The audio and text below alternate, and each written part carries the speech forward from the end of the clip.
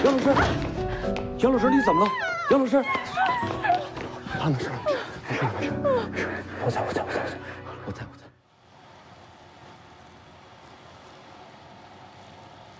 您是？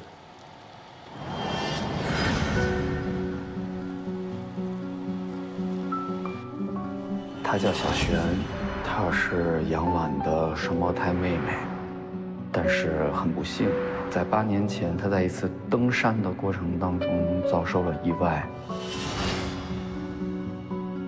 杨璇老师，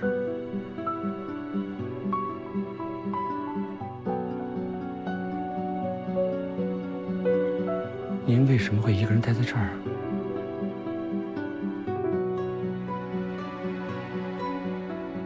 展会上的那些作品都是您亲自制作的吗？为什么用杨婉的名义发表啊？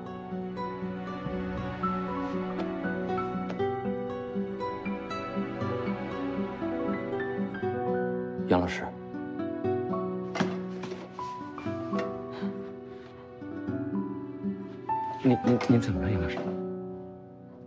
杨老师，杨老师，杨老师，你怎么了？杨老师，啊，没事，没事，没事，没事，我在，我在，我在，我在，我在，我在。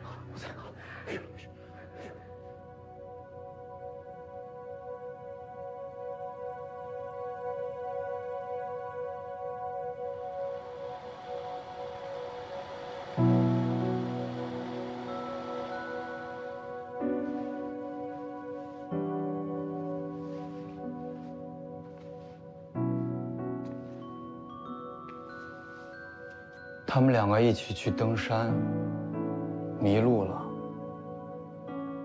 我太太崴了脚，小璇说去找路，一找，人就没回来。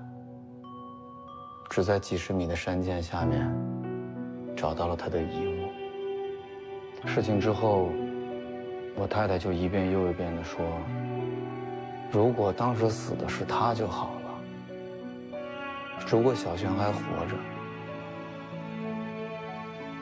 他肯定能够更好的继承我岳父遗志，因为他是最出色的。自那以后，偶尔他会穿着小璇的衣服，把自己打扮成小璇的样子，躲在这个与世隔绝的小房间里面致辞。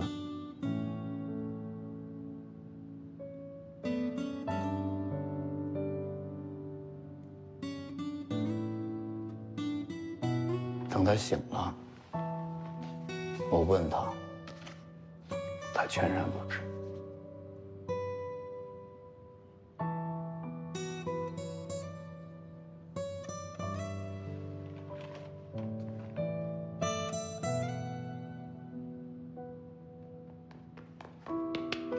你还想干什么？我什么也没干。肖先生，对不起，实在不好意思。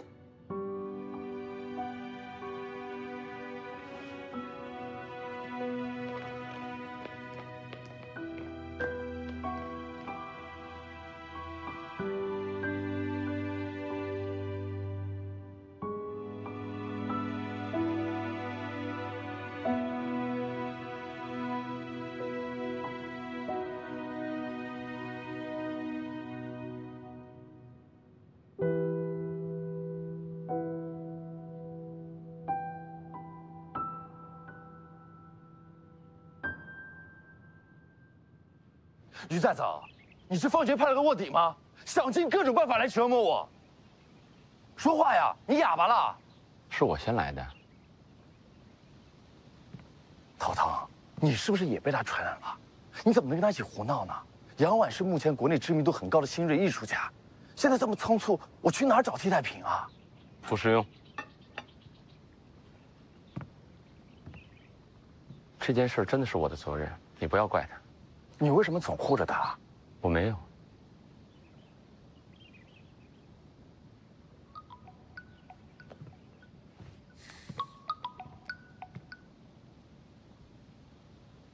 你说什么？我知道了，我马上过来。那边知道王姐受伤了，趁机把文州截胡了。你再走，去片场。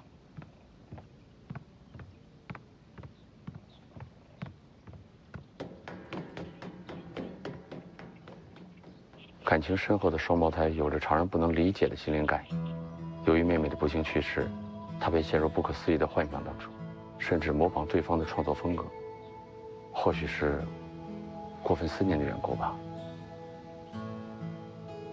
我有工作要赶回去，就不陪你们过去。不过你要记住，对艺术的热忱与执着是一样的，明白吗？走了，还不快走！去吧。